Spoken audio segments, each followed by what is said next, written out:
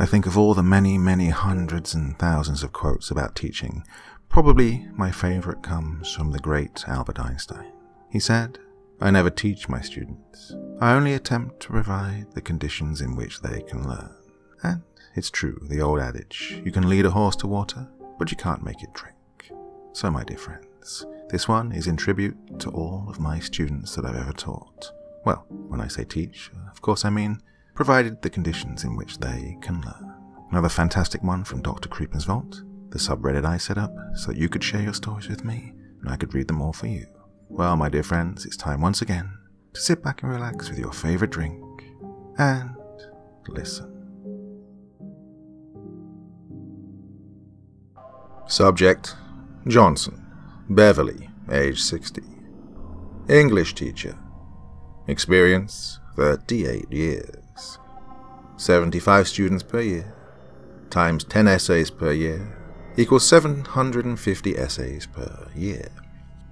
38 times 750 equals 28,500.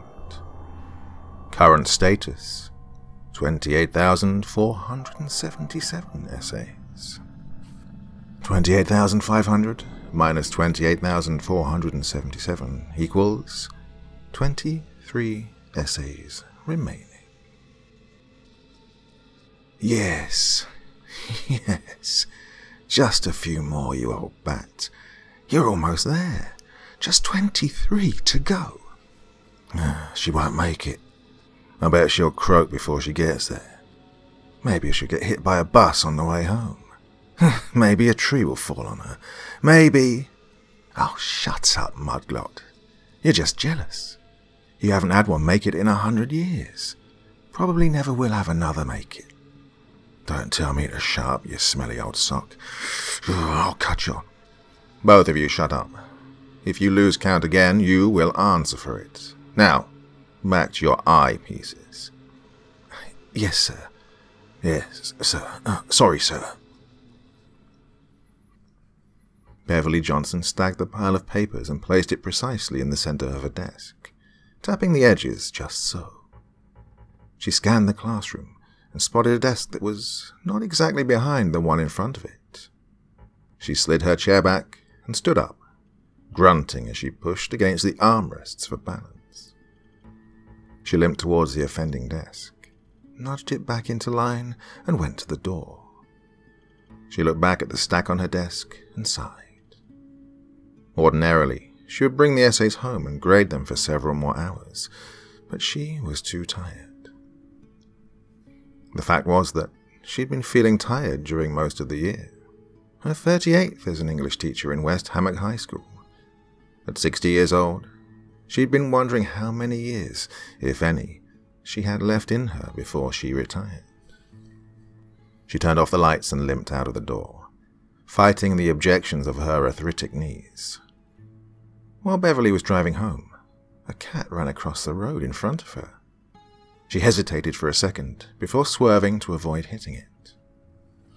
The next morning, Beverly arrived at the school at 7 a.m., just as she had for each of her 38 years there. She hurried as best she could to her desk, picked up a red pen, and began reading the first essay in the stack. Before she made it through the first paragraph, she had crossed out two entire sentences and was shaking her head. By the time the first bell rang at 7.55, she had graded seven essays. Yes, yes, only 16 more. God, you can finish them today. You can do it. You have to. You must. Gorbligget, are you sure your count is correct for this one? You know you cannot make another mistake. Oh, yes, sir, absolutely. I've checked and rechecked a thousand times. I'm sure this time. She's now at 28,484, which leaves her only 16 more essays to go to get to 28,500. Oh, like I said, I've checked my count a thousand times. Well, check a thousand more times.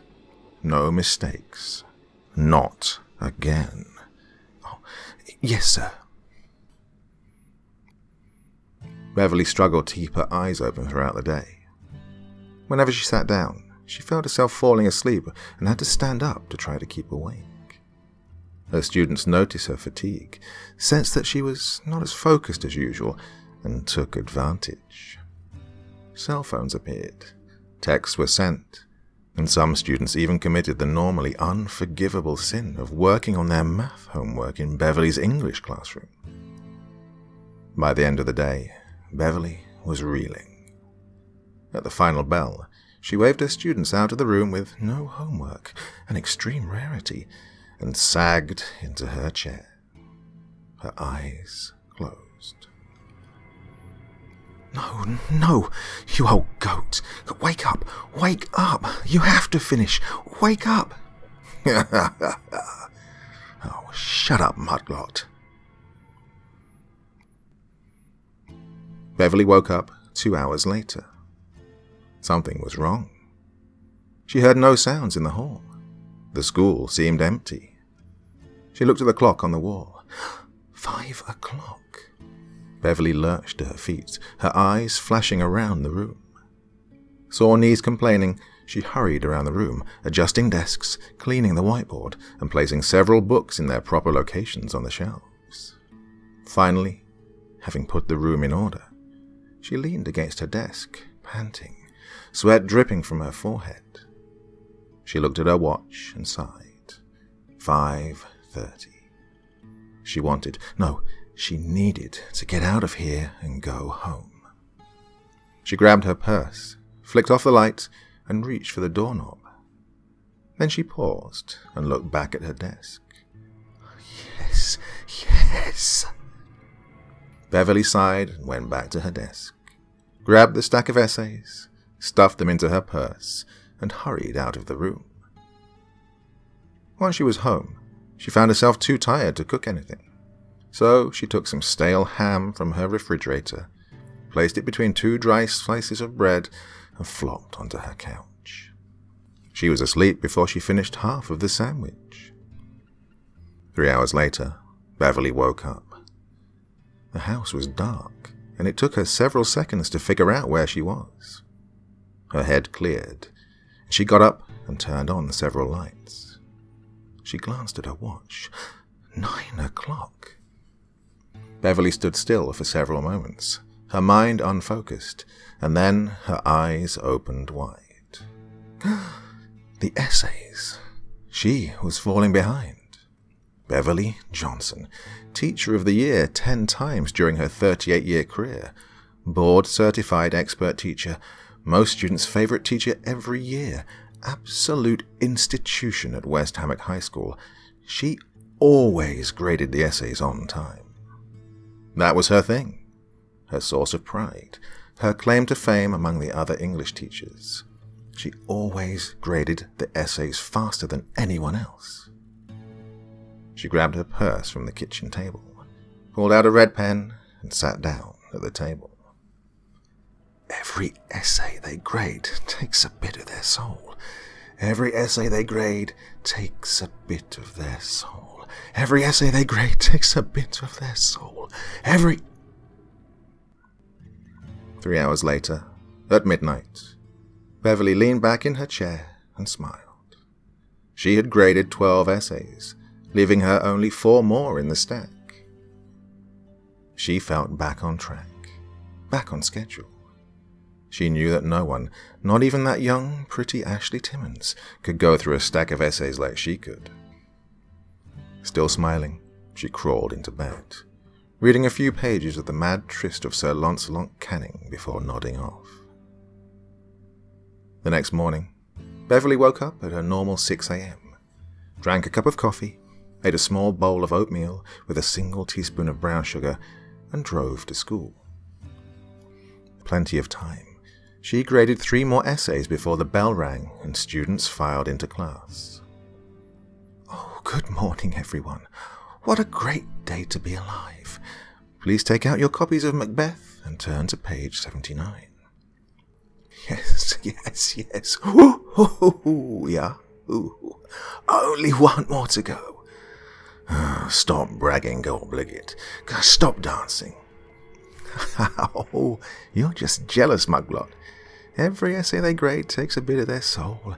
Every essay they grade takes a bit of their soul. when the final bell rang, Beverly leaned back in the chair and let out a long, slow breath. She gazed around the room and took in all the symbols of her long career photographs, letters, dozens of ceramic apples, all received from grateful students over the years. Yes, she told herself, she had had a fine career. Maybe she would stick around a few years more, and then she would retire. She took out the stack of essays and lifted the final one, the last essay she had to grade. She grinned when she saw it was written by Lee Corunna. He was one of her favorite students, and he was one of the very best writers in the senior class that year. She knew it would be excellent, and suddenly a radical thought came to her. What if I don't bother reading it and just give him an A? What would be the harm? I already know it's an A paper. What would be the harm? No, no! You hag! You vile cockroach! You old witch! You damn well, well, well. So, Gallbligget. It looks like she might not make it after all. Mudglots. no. Ah. Silence. Sir. He deserved it. He did. I won't apologize for it. Gallbligget. He may have provoked you, but was all that necessary? His ears, his head. Didn't you get carried away this time? Well, maybe a bit. Anyway, back to your eyepiece. This may still go well. Oh, yes, sir. Beverly thought for another minute and then chuckled, shaking her head. She picked up a red pen. She realized she was simply incapable of skipping the essay.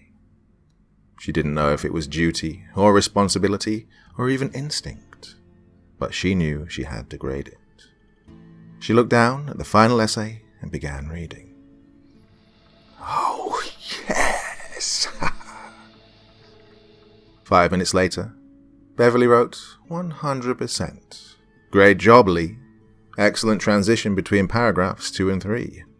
On the essay. She placed the essay on the stack of others, and her head dropped forward, slamming against her desk. Ah, congratulations, Gallbligget. Well done. Now, let's see what you can do with Beverly. Oh, thank you, sir. Thank you. I have some fun planned for this one, that's for sure. Beverly sat straight up, ignoring the blood dripping from her forehead.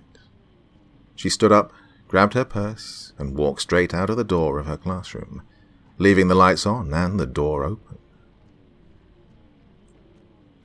On the drive home, she approached a man riding a bicycle ahead of her. She steered directly behind the rider and matched his speed her front bumper only a few feet from the cyclist. She inched a bit closer to him, and then pressed on the car's horn. She really leaned on it, keeping the horn's blast going for a full ten seconds. The cyclist jerked in his seat. His hands almost came off the handlebar, and his front wheel whipped back and forth. He pulled hard on his brakes and flipped over the front of his bike, crashing onto the sidewalk. Beverly stomped on the gas pedal and roared down the street, waving a middle finger outside the window at the man bleeding on the sidewalk. She pulled into her driveway, got out, and walked into the house. She dropped her purse on the floor of the dark kitchen. Beverly stood there all night, not moving, her eyes open, until the sun began to creep over the horizon. Beverly then picked up her purse, turned and left the room, and got back into the car. She sped down the street in the direction of school, blowing through three red lights in a row. At the fourth light, she blinked several times and slowed to a stop. She sat there, breathing deeply as the light turned green. A blue pickup came up behind her, and its driver, a young man, had to slam on his brakes to avoid hitting Beverly's car. He honked his horn and lowered his window to yell when Beverly's driver's side door opened. She got out of the car, holding her yellow umbrella in her right hand. Beverly approached the truck, swung the umbrella over her head, and smashed it on the truck's hood, leaving a gouge in the paint. Then she held the umbrella in front of her, pointing it as if it were a sword. You son of a bitch! Who do you think you are, honking at me like that? You son of a. Nicely done. She got back in the car and sped away from the intersection. The driver of the truck, 17 year old Neil Parker, captain of the football team at West Hammock High School, sat there with his mouth open. Beverly pulled into the parking lot at school and glanced at her watch. 6:30 a.m. Half an hour earlier than she normally arrived. Plenty of time. Plenty of time, she said. She entered the classroom and sat at her desk. She looked down at the stack of essays and flipped through the pages. After a few seconds, she clenched her teeth and slapped her hand on the desk. All these years and the same errors every day. Passive voice, dangling modifiers, comma splices, plagiarism. I write comment after comment. I lecture, give them homework, and they don't care. They never learn. She reached in her desk drawer and took out a small container of whiteout. She picked up Lee Corunya's perfect A plus paper and used the whiteout to erase the 100%. She picked up her red pen and went to work. By the time the first bell rang, she had gone through half the papers. On each one, she had circled every possible error she could find. She had made every grade an F. On each, she had scrawled comments including, Terrible handwriting, because I can't read this. Don't waste my time with such garbage. You will never succeed at anything. Zero points. The students came in much quieter than usual. Neil Parker having already spread the story of the umbrella assault. Get out some paper. Time for a pub quiz. That day, she gave her students a ridiculous amount of homework, barely suppressing a smirk as they moaned at the nearly impossible prospect of reading a hundred pages of Billy Budd that night. When the final bell rang, Beverly grabbed her purse and rushed out the door. She pushed through the crowded hallway, elbowing several students out of her way. Miss Johnson? Miss Johnson, can I have a moment with you? Beverly heard the voice of Principal Robinson behind her, but ignored him and continued out to her car. Two hours later, the following call was recorded at West Hammock Police Station. West Hammock Police? Yes, sir. This is Captain Clark from the Security Police Unit over at the base. Something strange just happened here, and we need you to come down and pick someone up. Okay, Captain. Tell me what happened. Well, our gate guards called me and said an old lady pulled up and demanded they let her on the base. Okay. Uh, then what happened? They asked her if she had a military ID, and when she said she didn't, they told her she couldn't get on the base. Apparently, then she got belligerent and demanded they let her in. She started screaming about paying her taxes and said they had to, that it was her right as a United States citizen. Oh, and then they asked her why she wanted to come on the base. Well, what did she say? That was the really strange thing. She said she needed to take a tank, and she wanted us to load it with ammunition. Load it? I know. Well, the guard started to snicker, and she attacked him. She scratched him across the face and drew blood. She almost got him in the eye. So they grabbed her, and put her in handcuffs. They're holding her in the office, and she just sits there chanting, 28,500. Oh, she won't say anything else. Very nice job with this one, Gorblicate. What do you have planned for her next? Oh, sir, I'm just getting started with Miss Beverly. This is gonna be fun.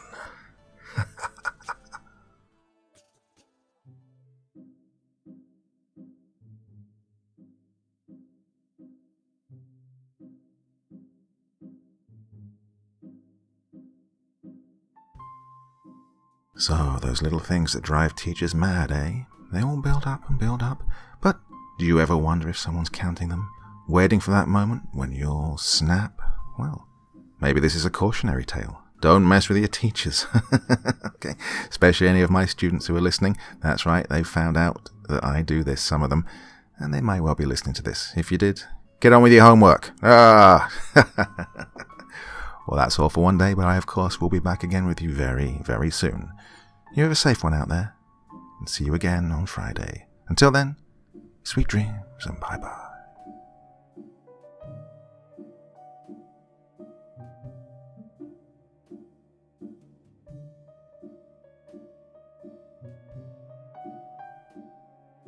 Thank you so much for choosing to spend your time listening to me.